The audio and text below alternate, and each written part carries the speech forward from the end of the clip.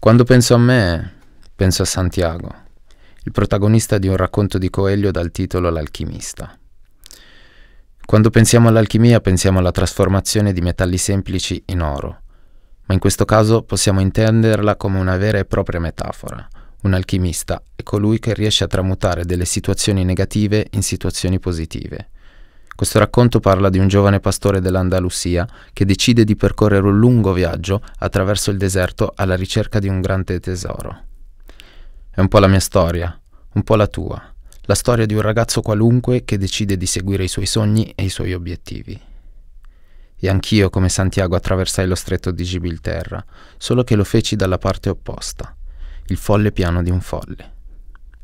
Appena sbarcato mi toccava ricominciare da capo, per anni ci fu solamente che calma piatta, una routine mortale, talmente impegnato a cercare di adattarmi che scordai di vista quale fosse il mio vero obiettivo.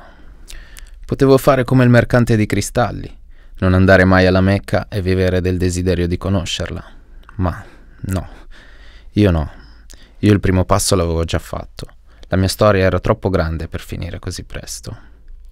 Provai la solitudine, pensando ai miei cari, come quel pastore pensava alle sue pecore, l'unica cosa che aveva, che gli dava calore, che lo teneva in vita. Sempre in solitudine decisi di proseguire il mio viaggio. Nonostante fossi cosciente del fatto che fosse rischioso attraversare il deserto senza una carovana, senza quel qualcuno che potrebbe rassicurarci grazie alla sua presenza, durante le notti buie e durante i lunghi giorni di silenzio, nelle infinite distese di sabbia. Io ho mai amato le carovane, tutte le carovane sono destinate a sciogliersi ad un punto di arrivo. Io nelle notti più buie ho intravisto le stelle e nei giorni di silenzio ho imparato a leggere l'universo e comunque sia sarei stato troppo geloso del mio tesoro. Non avrei minimamente pensato al fatto di condividerlo con qualcun altro, dopo tutta la fatica fatta finora. Lungo la mia strada ebbi più di un miraggio, quasi come l'idea di essere già arrivato di aver fatto più di qualunque altro della mia cerchia di famiglia di pastori. Conobbi l'amore, un po' come Santiago con Fatima, un amore così forte da raggiungere il nirvana. Dipendevo dalle sue labbra, dalle sue parole.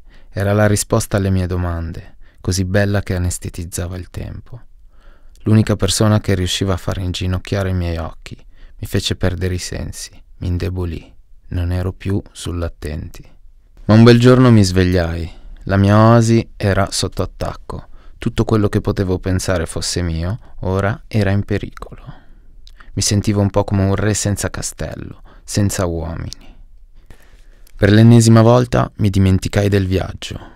Lei era molto comprensiva e capì la mia necessità di partire, di conoscere il mondo. Mi amava così tanto da lasciarmi andare.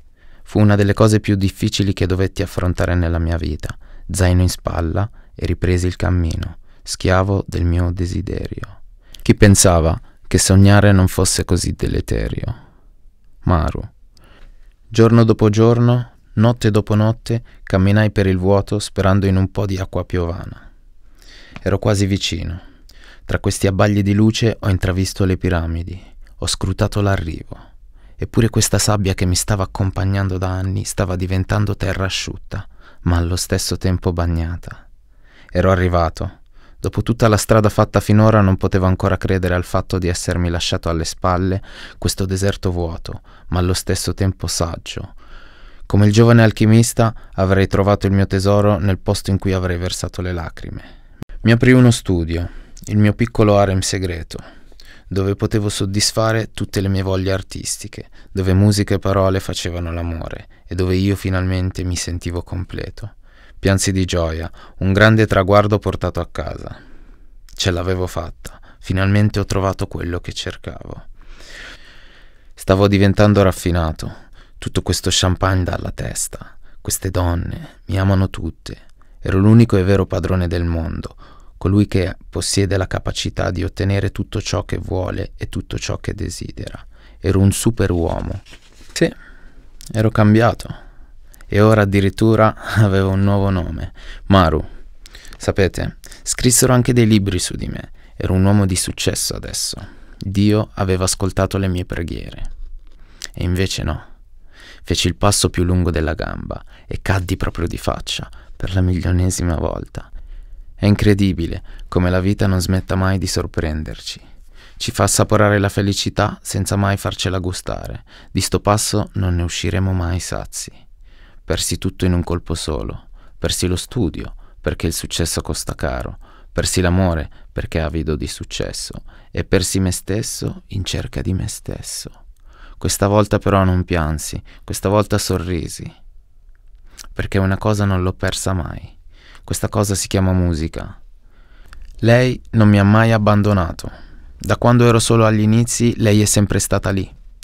Nei momenti difficili e nei momenti di gioia mi ha sempre accompagnato, mi ha sempre confortato, qualora ce ne fosse stato il bisogno, con parole dolci oppure mi avrebbe bastonato se questo sarebbe servito a farmi rigare dritto. Una mamma, una sorella, un fratello sempre pronto al momento del bisogno. Io ragazzi, Sinceramente quest'erba è dannatamente buona e io un po' ho perso il filo tra la mia storia e quella di Santiago. Però poco importa, perché comunque questa storia insegna che a volte il nostro tesoro è proprio lì, sotto i piedi, e non ce ne accorgiamo. Ed è proprio per questo che decido di ritornare ad essere Maruego e di ritornare a fare quello che mi viene meglio fare, a scrivere la mia leggenda personale.